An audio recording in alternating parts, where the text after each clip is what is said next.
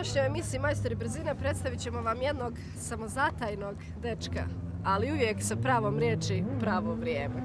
A, Vlado, ti si u stvari krenuo a, kao vozač street race utrka, je li tako? Yes. Neki bi čak rekli da street, street race nije sport, nego da je to foliranje. To je stav, pretpostavljam, nije takav. Pa nije foliranje, ali ja ga ne mogu baš nazvat sport, to je više kao hobi.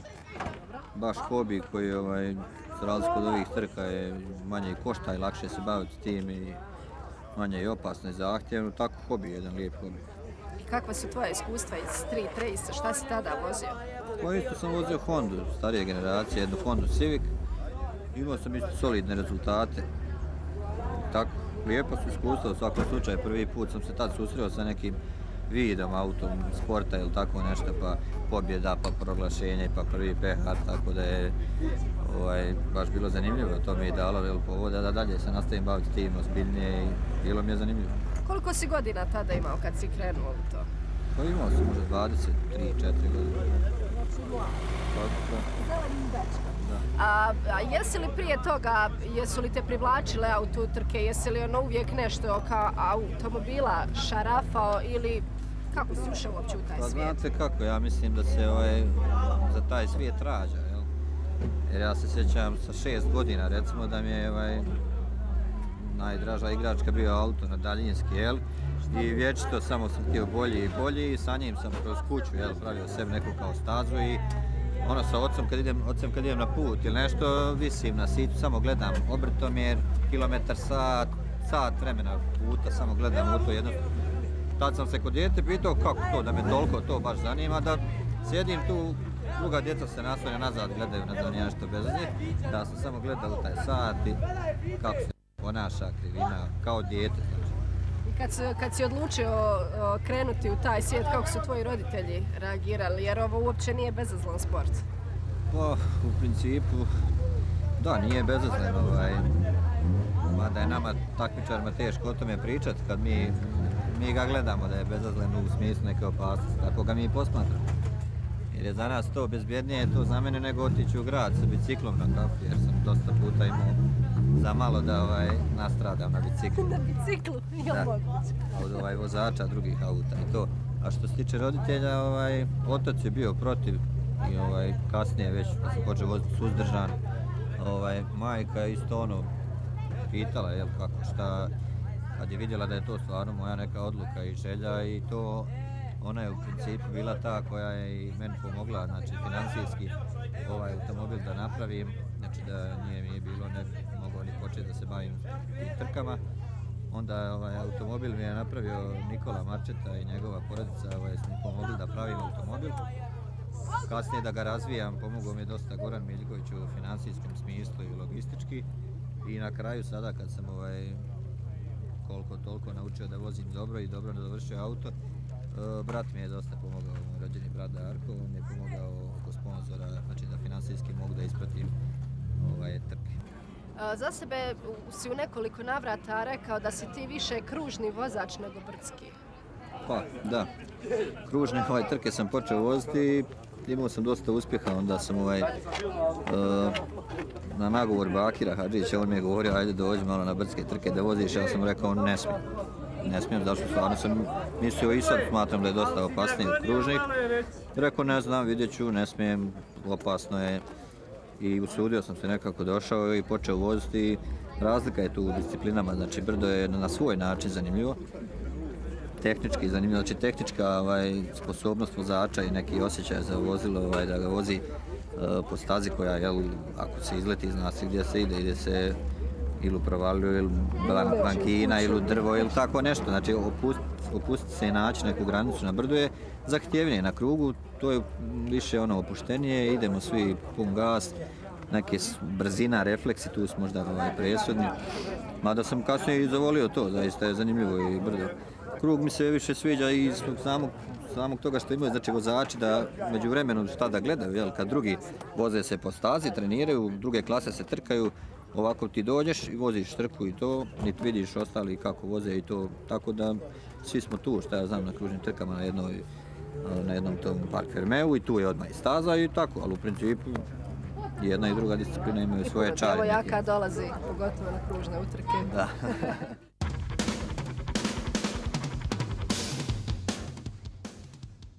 15 dana je proteklo od eh, prethodne utrke i od prethodne svađe. Nadam se da su se do sada stvari eh, smirile i da se ništa slično neće ponoviti ovdje na Vlasenici. Eh, svi su stigli, sve je spremno, a uvijek se u Vlasenici organizator dodatno potrudi da utrka bude što bolja.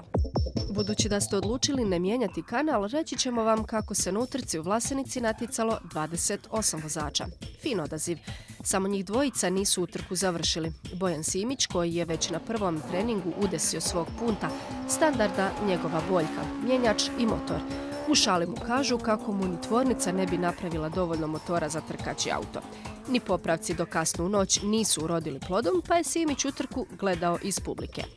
Drugi vozač je Milorad Drinić. On je u stvari dosta dobro vozio na treninzima. Nije uopće loš bio ni u prvoj vožnji, ali i njemu se Opel pokvario, pa nažalost nije mogao doći do bodova. Što se tiče onih koji su vozili, spomenimo kako je u klasi N2 vozio samo Nenad Lehpaner. Budući da je odvezao obje vožnje, stigao uspješno do cilja, osvojio je i bodove.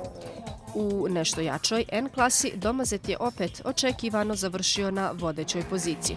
Onako u olimpijskom duhu Oni Radošević koji vozi u slabijoj klasi H12 borili su se za treće mjesto u generalnom plasmanu. U fotofinišu za sekundu, kada se obje vožnje zbroje, bio je brži Radošević.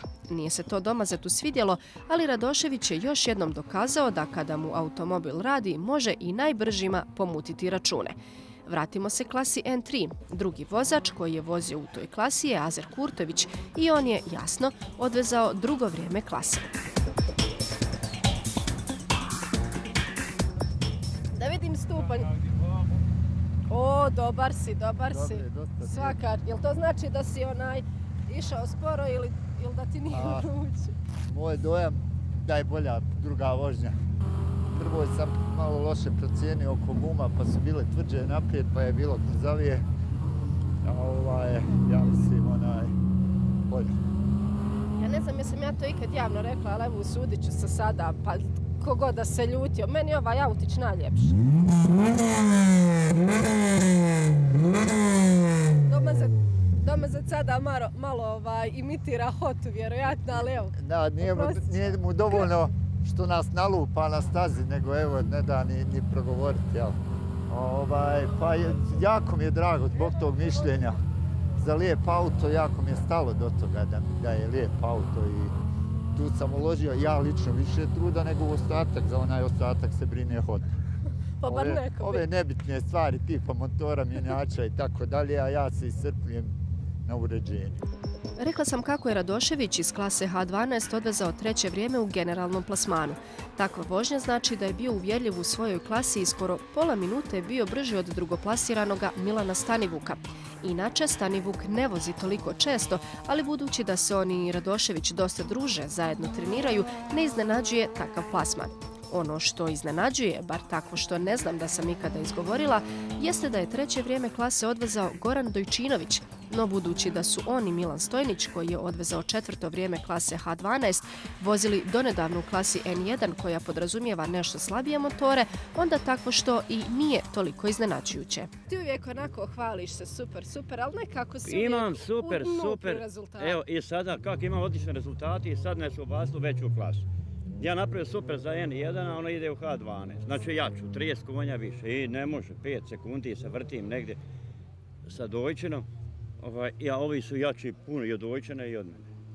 Jeste, zato je to. Sram ih bilo. Pa sram ih bilo. Ali ti si onako uvijek vedrog duha i Jeste. nikad se, nikad se ovaj, ne predaješ. Ne predajem se, bit će iduće sezone isto ovakav bolji motor i gotovo. Nema šta, da se rekli prošle godine, ja bi to napravio iako ne voziš toliko često, dakle nisi u onoj formi, ipak si konkurentan i, i dobro stojiš sa vremenima u odnosu na svoje konkurente. Dobro, koliko vidim sad, drugi sam, sa, drugi sam na ovoj trci sa ovim vremenom kojim sam napravio. Zadovoljan sam, šta da kažem, hvala Brkić servisu na pomoći što mi omogućuje da dođe na utrku. Na petom mjestu H12 klase završio je čovjek koji vozi dvije, tri utrke godišnje, najviše iz svoga gušta. Riječ je o simpatičnom Miroslavu Planinčiću. Dečko koji je probio led u Vlasenici i iz jedne discipline prešao u drugu jeste Armin Mujkanović. Iako je sada zauzeo posljednje mjesto klase, vjerujem kako će s vremenom ostvarivati sve bolja vremena. Evo zašto. Treba spomenuti da si bio prvak u kartingu. Dakle, ideš onim nekako koracima kakvim bi se i, i trebalo ići. A i druga stvar, trebao si voziti i drugi automobil, drugi automobil. Jugo, međutim voziš Peugeot. Osuđen automobil od uh, Mirsada Krajinović. Ja ovim putem bi se zafalio Mirsada Krajinović što je ustupio automobil. Jer nije to ma toliko lako ustupiti auto, jer ipak trka. Em je trkaći automobil, ali ste vi muškarci toliko vezani za te svoje automobile. A, reci mi, karting je jedno, brdo je nešto sasvim drugo. Sasvim drugo, nema orientacije. Na kartingu sam mogao orijentisati gdje se nalazi, u nekim mjesta ovdje nije sad. A, jedna vrlo zanimljiva stvar a, vezana za tebe jeste da si dobio pozivnicu, ispravim ako grešim, za Šumaherovu a, školu vožnje, je li tako? Da, tako je. Šta bi s tim? Nažalost, kako, kakva je situacija u BH autosportu, mogućnosti nisu dale da se nastavi dalje školovanje.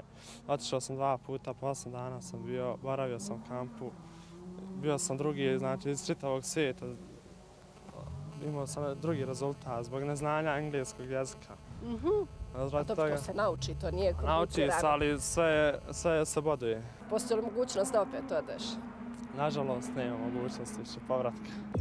Veliki pljesak od ne tako brojne publike izmamio je jedan od dvojice vozača automoto kluba Vlasenica, Dragan Mićanović. Poslije prve vožnje se činilo kako ne može ništa protiv Ilića jer je bio spori 11 sekundi, no u drugoj vožnji se Ilićevo vrijeme znatno pogoršalo uslijed kvara na mjenjaču, tako da je Mićanović odvezao 11,5 sekundi brže u drugoj vožnji, što mu je donijelo bodove za prvo mjesto klase H13. Ilić je takvu utrku završio kao drugoplasirani, dok je uporni Dane Milenović u Fiatu odvezao treće vrijeme klase. Jel automobilima i vama više odgovara ovako hladnije vrijeme nego kad su oni one žege?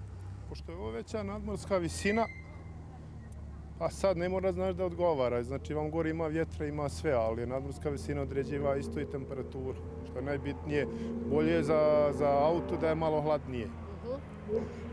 Ali dobro, šta je onda? Onda imate onaj problem sa gumama dole na, na startu, pa nisu dovoljno zagrijane ili... Da je dozvoljeno grijanje guma, da, odmah bi bilo okej, sve bilo u redu. Pošto u pravilniku stoji da je zabranjeno grijanje guma za svakog isto, tako da i mi se trudimo da to nekako održimo. A kako, je, kako se tvoja Honda ponašala na ovoj stazi? Je li bilo klizavo, jesi li sve krivine uspio Pa nije, nije bilo klizavo, uglavnom što ja slabije poznajem stazu, pošto nisam vozio svake godine ovu stazu, kao što ovi drugi moje konkurencija i ovi takmičari, tako da sam došao da završim šampionat.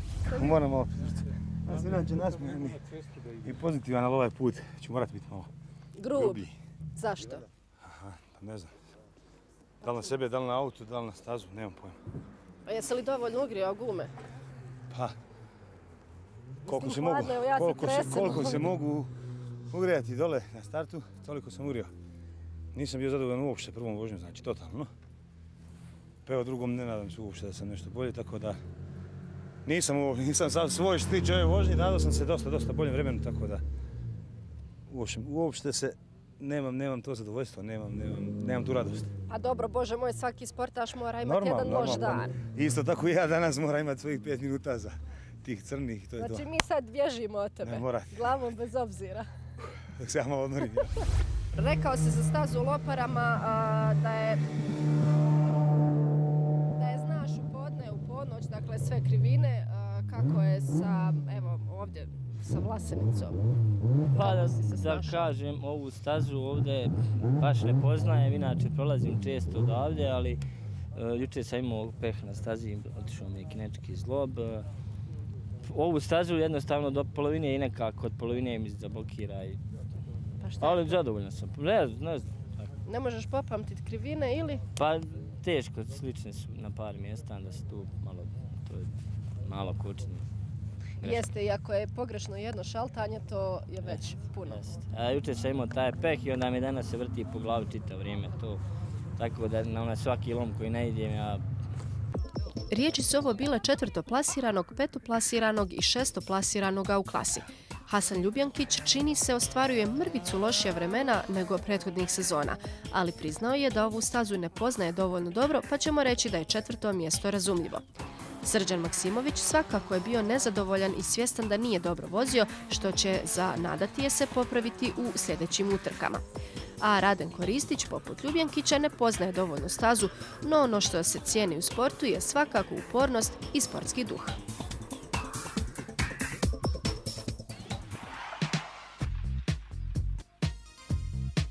Kad si krenuo sa ovim brdskim utrkama, odmah si nekako u startu pokazao svoj talent i jako veliki broj vozača i onih ljudi koji dugo godina prate aututrke su te počeli uspoređivati sa Nevenom Vukasovićem. A to nije mala stvar jer čovjek je jedan od velikana ovoga sporta, a uspoređivali su te kao ne znam, evo ja bih to rekla, smirenost, preciznost i dobra vožnja. Je li tebi to imponiralo ili... Jeste, naravno, ovaj, pogotovo zato što sam dolazio gledati trke vrtske prije što sam počeo da vozim dvije, tri godine i gledao sam e, Nevena Neverna kako vozi i drugi su komentarisali vozači kako to izgleda čudno jer on vozi po stazi, ovaj, auto je mirno, ništa se ne dešava, nema klizanja, nema drame, normalno kao da ide na more, čovjek se popne na cilj, vrijeme prvi i to ne samo što je prvi, nego dosta daleko ovaj, brži od ostalih. I ovaj, tako, to mi uvijek bilo zanimljivo kako je to moguće da tako to izgleda sporo, a u stvari je brzo. I tako ja kad sam krenuo da vozim, ono, pokušavao sam da nađem neku ovaj, sredinu između, da kažem, divljanja i tehnike. Pripremiti automobil za jednu utrku nije jednostavno, to si malo prije i rekao. Koliko ti vremena ovako privatno izdvajaš za šarafanje, popularan izraz među vozačima?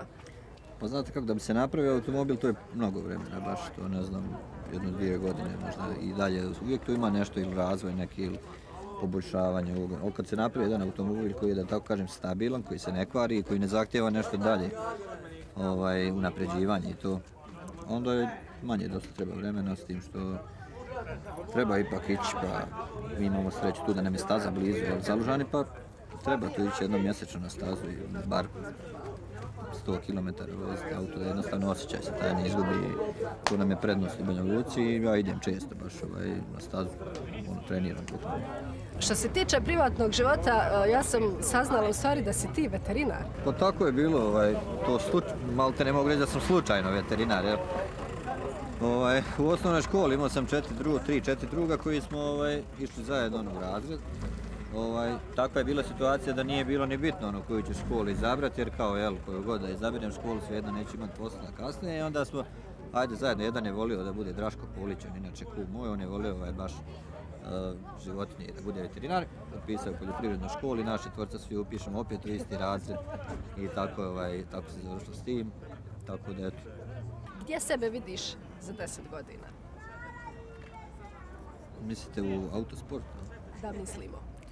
Da, Pa ne znam gdje vidim sebe, ovaj, nemam neke ovaj, ambicije to kao drugi Evropa, ovo, ono, jer tamo isto nema ovaj, tih trka gdje ovaj, ovih brdskih recimo ili kružnih mimo nekih fabričkih timova i to. To su sve trke isto kao kod nas, znači gdje niti ima publike ni nešto isto konkurencija, možda jača, možda nije, ako se izabere dobra klasa onda i nije jača onda isto, tako da ne privlači me to, mene privlači znači trke u Bosni i Hercegovini najviše i nešto okolo, u okolnim zemljama, s tim što planiram da mijenjam auto, najvjerovatnije za iduću godinu neki Clio e, trojka, Clio Cup, ako ne za iduću, onda vidjet ćemo za 2014.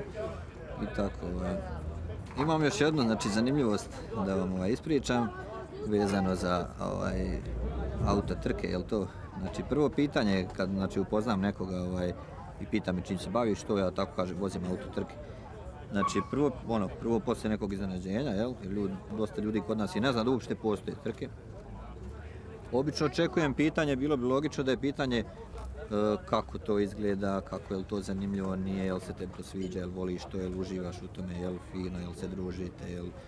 Znači, prvo pitanje je šta ti imaš od toga i ovaj, kolike su nagrade. To je, znači, pitanje od kojeg se ježim Znači, to prvo je privatna stvar što ja imam od toga i ovaj kolike su nagrade ili ne znam koliko sponzora dobijaš. Ali eto, ono, ispade kao ti si budala, jel, šta imaš od toga, ništa. Znači, tako, kod nas inače u svim nekim aspektima života je tako, jel, samo šta imaš od toga i koliko si ti zaradio tim. E, to mi je, znači, najviše me nervira ta ovaj, pojava. Dakle, dragi gledatelji, ako ikada u životu sretnete ili vladu kojem je nadimak Lemi ili nekog drugog vozača, nemojte ga pitati šta ti imaš od toga. U stvari, vi od toga imate jedno, jednu satisfakciju, jedno zadovoljstvo, jedno super dobro druženje a, preko vikenda. Mimo da. onih živciranja, ukoliko vam se pokvare minjači da, i motori. Mimo živciranja i nekog uzbuđenja prije same trke koje je na svakoj trci, bez obzira koliko se vozi, vozi ovaj, tu je prisutno jedno uzbuđenje i napetost i svašta nešto poslije trke.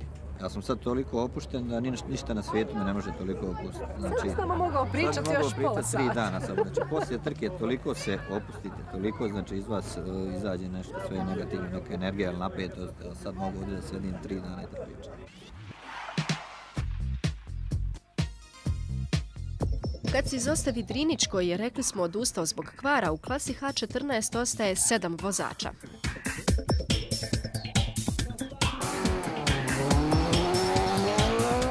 Bakir Hadžić je još jednom odvezao prvo vrijeme, ali to i ne iznenađuje pretjerano. No ugodno iznenađenje je definitivno Nihat Ceferagić. Iako je umalo zapalio automobil, isplatilo se jer je utrku završio kao drugoplasirani u klasi, što je među ovakvom konkurencijom odličan rezultat. Iza njega, što je malo tko očekivao, ostao je još jedan iskusni vuk, Mladen Šoljić. Engin Beširević, koji više nije vozio ove sezone nego što jeste, odvezao je četvrto vrijeme klase. Je brži od vas dvojica danas bio? Bravo. Evo ja, evo ja ću. A to je ja ću, ja ću pred TV. Ja šolj čestitam. E. A inače ne bi da nije TV. Bez ovakve konkurencije. Ne, ne. Bez ovakve konkurencije nema motiva da čovjek da vozi. Bravo, pa to u stvari gura, gurate jedan drugog da normalno, budete brži. Normalno. Znate li nekad pretjerat u stvari znate? Znamo kad ne znam. U jelu. A super mi je kod vas, ovaj, to možda gledatelji nisu uspjeli primijetiti do sad. Kad ne vozite dobro ili kad niste iz bilo kojeg razloga ovaj, zadovoljni, onda je ono, faca, bože, ni, nešto mi mjenjač nije, nije nisam dobro u šalta. Mi smo da prvi... organizator uvijek, dakle, ako organizator Evo, ja nije sad organizator je taj, ma nije. A, sad možeš... organizator dobar, vidiš da je... Koga ti prvi, prvo zoveš kad završiš utrku? Nikog dok ne dođem dole. pa nije vrag da, da, da pa nikog ne zanima. Slušaj, znaju oni svi dole jer smo došli gore. A Nihade, dragi, šta mu učini? Ništa mu nisu uradio, samo se vozio. On tek tako se malo, tek tako, skoro pa zapalio. Tek tako. Ali dobro, duga staza, pregiralo, ali sve u svemu dobro je. Sreća pa nije 35. Pa to je sreća. Pa to je sreća i za nas vozači i za auta. Tako da, to nam je velika sreća. Jesi brži od Engina Beširević? To ne znam, to ne znam. Vidimo. Vidimo. E, sam, samo se zahvalio svom prijatelju Dario Bilešu Smješki. Složio mi odlično motor, mjenjač, tako da radi sve kako treba. Ha, majstor zna znanje. Pa kad ne zna sebe, to meni je uspio. Bar nekome. Engine Bešireviću, ispao si iz forme? Pa nisam ispao, nego je bila stvarno jaka konkurencija ovdje u Lasnici. U klasi kolege su se stvarno uzbiljno ubrzali, ja sam tražio te sekunde, pa sam onda malo i pretjerivo, ali objektivno su bili brži. I oni, kolega Drinć, koji eto nije završio, znači, trku, jer mu se nešto pokvarilo, ali bio strašno brz na treningu. Dobro, oni uvijek osim, osim Bakra i Šolje, koji su, eto, hajde. Stari ove, Vukovi. Stari Vukovi, etablirane veličine. Spomenut ćemo i Mladena Tojića koji je završio u zlatnoj sredini, odnosno na petom mjestu klase. Hrvoj Jugović u svojoj voljenoj žutoj talijanki odvezao šesto vrijeme klase H14, dok je realistični Šefik Emrić u Opel Astri ostvario sedmo vrijeme klase. Kako je raspoloženje posle utrke? Pa dobro uvijek Ivanu vidjeti. A ne pitam ja sada za mene, pitam za vožnje. Pa mislim, ali hvala kao predstavnika neke kuće, to na to sam mislio. Braco, nemoj nam bježati. Da, da, braco, dođe ovako. Mi smo došli u stvari sa obojicom razgovarati. Ovaj, da ti kažem iskreno, Ivan, ovo je malo planinski zrak mi presjeku, pa sam nekakav usporen danas i od juče. Mhm. Pa dobro, s obzirom da je do sad bilo ono 40, nije se micalo iz grada. Velika promjena. Ja sam vikendom u Mostaru, samo je onaj drugačija skroz nadmorska visina, jer ono malo iznad mora, ovdje je to puno drugačije. Uh -huh. Tako da me ono jednostavno presjeklo. Kako su išla ova auta, vaš Opel i Alfa? Njemac protiv Italijana, ili Italijan protiv Njemca? Ma, ovo je najbolje, samo što sam ja malo zakazao sa ovakvim gumama uh, uspjeh. Fenomenal. Braco. Pa slažem se s njim, do nas je jel, sve ono. Mi svaki put možemo auto optuživati, trebamo ovo, trebamo ono. Da je ipak osnovni faktor vozač. I šlag na kraju, oboren je rekord staze. Tko bi ga drugi mogao oboriti do Suat Hota? Zvjerska lanča je radila kao švicarski sat i vrhunski rezultat bio neminovan. Naravno, rekord staze donio je i nove bodove i pehare, kako za prvo mjesto u klasi, tako i u generalnom poredku.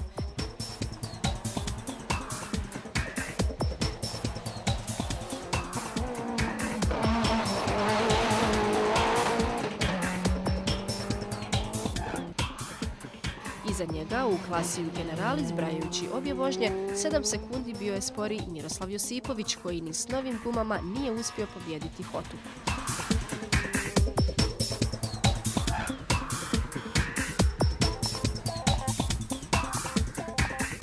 Treće mjesto najjače klase odvezao je Branimir Simić koji nije bio pretjerano raspoložen za vožnju ovoga vikenda, pa je u generalnom poredku završio tek na 13. mjestu. Uz Mićanovića, drugi vozač automotokluba Vlasenica je Miladin Lučić u Audiju 90, koji je utrku pred domaćom publikom završio na posljednjem četvrtom mjestu klase H15.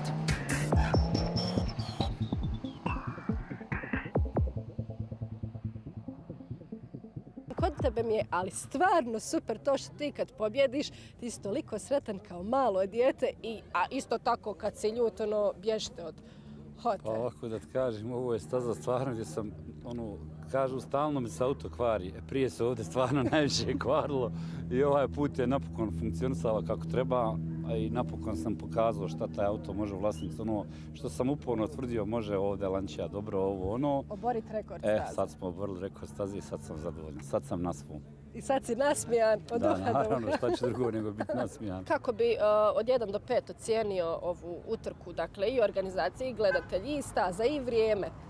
Pa dobro, čim sam ono prvi rekord staze, trebao bi ja sad reći 5, ali stvarno je bilo blizu 5. I realno, uh, satnica ispoštovana sve u minut, niko nije čekao, nije bilo bilaja po stazi udjesa, što je jako lijepo ljudi su nas super dočekali, parfemi mi pita možemo li mi ovamo, možemo za razliku od prošle trke, ljudi su nas pustili, tako da organizacija bila uobičajeno za vlasenicu na visokom nivou, ljudi su me zvali na večer, hajde vamo, hajde tamo, stvarno mi je bilo lijepo, moram reći. Još jednom, ajde da se zahvalim svima onima koji su danas učestvali u ovoj e, jednoj od boljih e, trka e, koje mi organizujemo, prije svega pokroviteljstvu, odnosno opštini Vlasenica, zatim Automotosavez Republike Srpske, Sportskom Automotosavez Republike Srpske, Sportskom Automotosavez Bosne i Hercegovine i naravno posebno zahvalnost svim vozačima koji su danas i pored svih tih nekih problema koji postoje u automobilskom sportu ipak došli danas na ovu, eh, na ovu našu manifestaciju, na ovu vrsku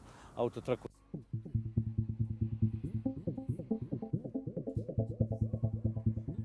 Na otprilike isto mjesto gdje smo i započeli ovu reportažu, mi je i završavamo. Dakle, evo u ovih proteklih 30 minuta bilo je svega i svačega. Oboren je rekord staze, neki su automobili se pokvarili, neki su vozači pretjerali, ali sve je to sastavni dio ovoga sporta. Nadam se da ste uživali i nadam se da ćete biti i sljedeći mjesec s nama kada vam donosimo novu reportažu i to sa kružne utrke iz Beograda. Ostanite dalje uz program BHT1.